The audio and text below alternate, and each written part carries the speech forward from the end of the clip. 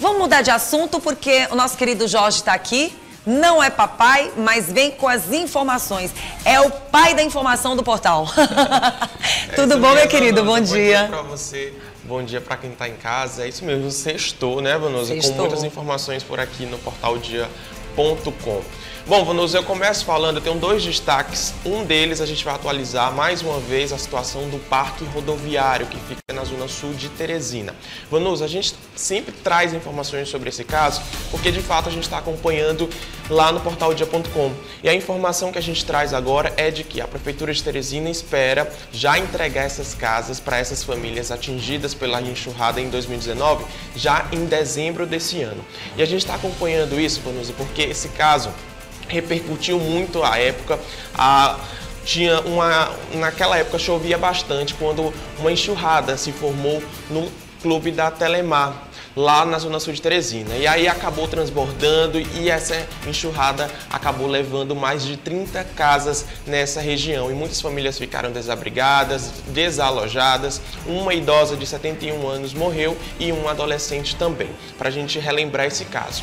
E aí depois de, de 2019, dessa tragédia lá no Parque Rodoviário, o processo foi tramitando na Justiça e no Ministério Público do Piauí ainda não foi encerrado, porque inclusive segundo a promotora de justiça Miriam Lago, é, esse caso só será encerrado quando as famílias de fato receberem essas residências. E aí lá no portal dia.com, além dessas informações, Vanusa, sobre a entrega depois daí, desde 2019, né, que as famílias vêm lutando na justiça para poder receber essas casas, já tem essa definição, vai acontecer já em dezembro desse ano, inclusive o projeto está orçado em mais de 3 milhões de reais, porque além da entrega das casas dessas famílias, tem também a entrega de outras casas que fazem parte ah, do programa da própria prefeitura, que a gente sabe que tem muitas pessoas que também foram estão ah, desalojadas e precisam de uma casa. Então assim, nesse projeto serão entregues 60 casas lá no Parque Rodoviário, um espaço onde vai ser totalmente revitalizado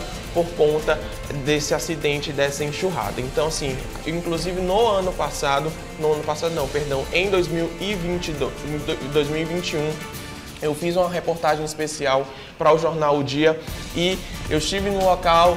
A- toda aquela região por trás do parque rodoviário ainda parecia o mesmo cenário de 2019 e foi de fato todo revitalizado para poder fazer a entrega dessas residências.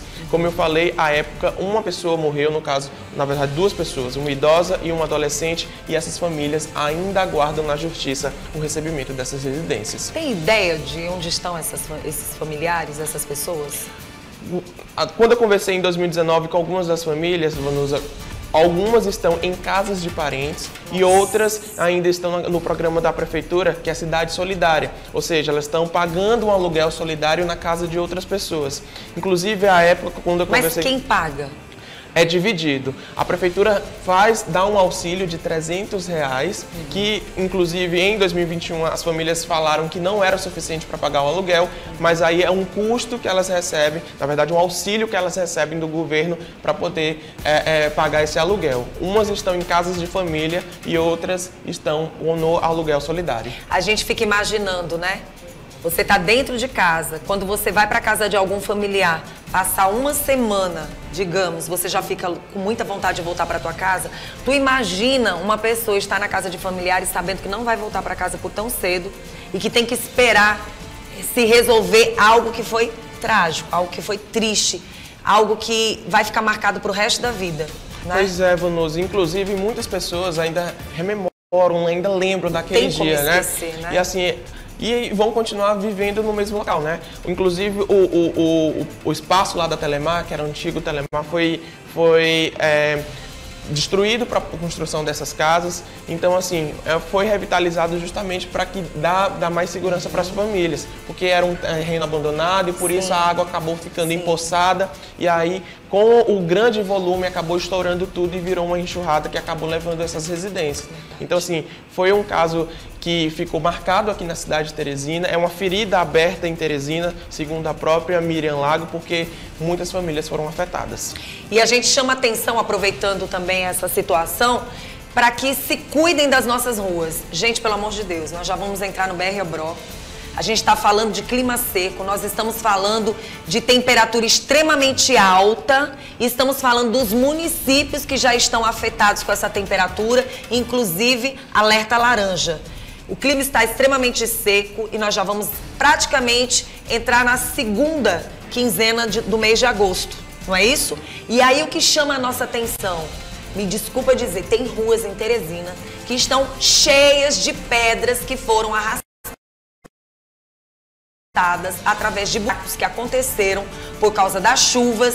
E me desculpe dizer, buracos que sinceramente viraram verdadeiras crateras. Eu fico muito triste quando eu vejo uma história como essa, porque é gigantesca, mas eu fico extremamente triste em perceber que durante um ano inteiro que se vive a seca, não se faz muita coisa. Então a gente chama atenção para as grandes avenidas, avenidas grandes, avenidas que têm carros passando constantemente, estão com verdadeiras crateras. Eu vou começar a mostrar, viu, gente? E eu vou começar a mostrar também nas minhas redes. Vou começar a mostrar porque eu acho isso uma vergonha. É o dever, a gente paga. Gente, me desculpa, mas a gente paga. A gente paga os nossos impostos para que a gente tenha qualidade, no mínimo, de ir e vir para nossas casas. Não adianta a gente ficar calado, sabe, Jorge? Gente, na Crescêncio Ferreira tem uma cratera gigantesca tudo já foi falado, tudo já foi mostrado, mas não se faz nada na Zona Leste, lá na Morada do Sol. Uma cratera que cabe um carro. Só para você ter uma ideia, tem gaveta de guarda-roupa, tem vários sacos lá dentro, tem árvores. Quem passa pensa que são só folhas no chão. Se passar um carro ali, é acidente certo. Se uma moto cair ali, com certeza vem a óbito. E ninguém faz nada, ninguém faz nada. Gente, isso é o mínimo. Isso sem mostrar a cidade inteira. Então a gente está chamando a atenção para não esperar que tragédias aconteçam para depois solucionar o problema. Estou falando de algo que é pequeno, mas que pode se tornar gigante. Pois é, e não pode ficar sob tutela da população, não, né? Não adianta população... só colocar lá uma sinalização ano já é eleição, Jorge. Próximo ano, 2024. Eu não posso, como uma comunicadora que gosta de gente, que gosta do povo, ficar calada diante de uma situação como essa. Minha gente, isso é um mínimo. Tem verbas para isso. O ano inteiro. Como é que não se faz é, é, o conserto, o tapa-buraco dessas ruas? Essa é a palavra certa tampe os buracos das ruas. Porque depois de uma tragédia feita, acontecida, ah, vamos resolver o problema. Não adianta tem que ter uma prevenção. Não é isso, Jorge? Exatamente, exatamente. Assim, essa questão de buracos é uma coisa que a gente vem batendo Crateras, né? Já, vi, já saiu do buraco, virou cratera. Não pois é, Vanus, e assim, de fato, a cidade de Teresina está sofrendo bastante com isso, porque não é só na Zona Leste, como você citou, mas, mas em vários em todos os lugares da cada, cidade. Cada, por isso que eu quero que a população vai aparecer aí na telinha, depois do Jorge, vamos segurar, depois do portal, eu vou colocar o telefone da Vanusa e eu quero que as pessoas de Teresina mandem para mim fotos de crateras, de buracos gigantes que estejam espalhados principalmente por ruas, ruas e avenidas. Mas tem mais notícia aí, né? Tem sim, Vanusa. Uma outra notícia que eu vou repercutir aqui com vocês é o seguinte: a gente tem falado muito sobre a utilização da tecnologia, principalmente do nosso telefone celular, que é praticamente uma extensão do nosso corpo atualmente, né? E com as diferentes operações que têm acontecido aqui na cidade, tem também, Vanusa, outras discussões para devolver esses celulares que eventualmente foram furtados ou roubados a gente traz no portaldia.com mais uma segurança para você, usuário que utiliza bastante o telefone celular. Vanusa, proteger os dados é extremamente importante, principalmente numa era de, te de tecnologia onde a gente utiliza bastante o celular, seja para pagar contas, fazer transferências, enfim, guardar as nossas informações pessoais aqui dentro. Pois bem, essa informação, Vanusa, é para você que, por exemplo, não sabia que através do PIN do seu aparelho celular, você pode tanto desbloquear ou acessar suas informações, na verdade, guardar suas informações de forma mais protegida. É uma ferramenta, Vanusa, que poucas pessoas conhecem, poucas pessoas conseguem também ativar no próprio telefone celular, que dá, por exemplo, essa segurança a mais. Vamos usar essa, essa ferramenta, ela está disponível em qualquer telefone celular, tanto Android como iOS, é muito simples de ser utilizada. E, por exemplo, se você perder o seu celular, ou se você eventualmente foi roubada, a, a pessoa que, por exemplo, ele assaltou, que teve acesso ao seu celular, pode simplesmente fazer um, um, um, um desbloqueio, ah, fazendo uma restauração no seu celular, apagando todas as informações e acabando tendo acesso ao seu telefone. Mas se você, por exemplo, ativar o PIN, no, quando o mesmo que essa pessoa consiga, por exemplo, fazer toda a restaurar o seu aparelho, apagar algumas informações, ela não vai conseguir ter acesso às suas informações com, com, com o seu aparelho celular. E aí, Vanusa, vamos aqui ao telão rapidinho sim. que eu gostaria de mostrar, porque fica mais fácil para quem está em casa entender. Gostaria que a produção descesse aqui rapidinho as informações, que é justamente, Vanusa, para dar essa celeridade. Porque quando você é roubado, você, por exemplo, o, o bandido, o criminoso, vai ali fazer, uh, vai restaurar o seu aparelho e aí ele consegue ter acesso sem precisar colocar a senha. Mas se você ativar o PIN, vai aparecer o número para a pessoa digitar e ela só assim vai poder ter acesso às informações. No Android, Vanus, é muito simples você fazer esse passo a passo, basta ir nas configurações, tá bom? E ter acesso ao PIN. O PIN é, é para bloquear o chip do aparelho e aí você vai conseguir também resgatar as informações de maneira é, é, correta também. Então, Vanus, basta ir nos ajustes do telefone, que é as chamadas configurações, ter acesso ao PIN, porque vai ter lá PIN sim, você consegue clicar lá e ativar rapidamente que o próprio telefone vai gerar um código para você e aí com esse código nenhuma outra pessoa vai ter acesso.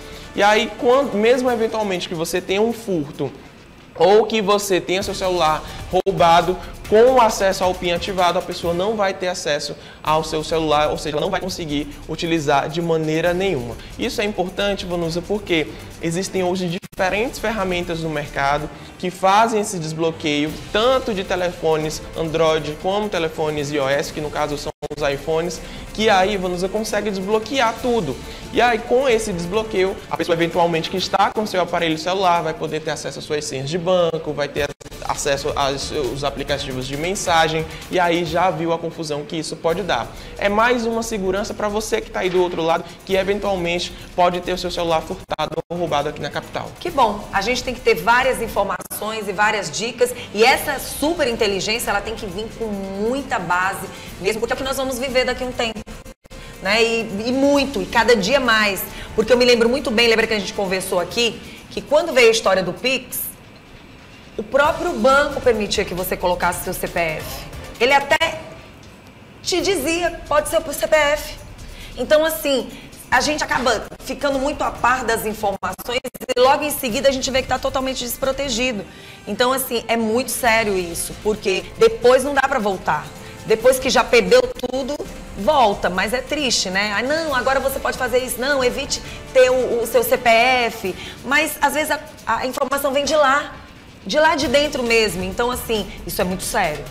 Pois é, você, existem, por exemplo, é, outras ferramentas como o e-mail do próprio celular, que é um código de identificação único que faz com que o usuário tenha mais uma segurança no ato de bloquear o seu aparelho ou fazer o rastreio. O fato é, Vanos, é que assim, a gente está falando essas medidas de segurança, mas a polícia tem alertado várias, tem atuado, na verdade, em diferentes frentes, justamente para coibir o roubo de celular e principalmente a receptação porque essas operações, inclusive nessa semana, mostram que assim a receptação, Vanusa, é um dos principais problemas. Porque se há o roubo de aparelhos de celulares, é porque teoricamente há quem compre esses aparelhos. Então, são diferentes atuações da polícia para coibir essa compra desses celulares roubados e, além disso, a essas outras medidas também de segurança do, dos próprios aparelhos. E eu tô vendo que vocês do portal estão na risca, estão em cima, para não perder uma informação, não é isso, Jorge? Exato, Bonus. A gente tem que acompanhar todo o processo para trazer informação nas mais diferentes, nas mais diferentes visões, né?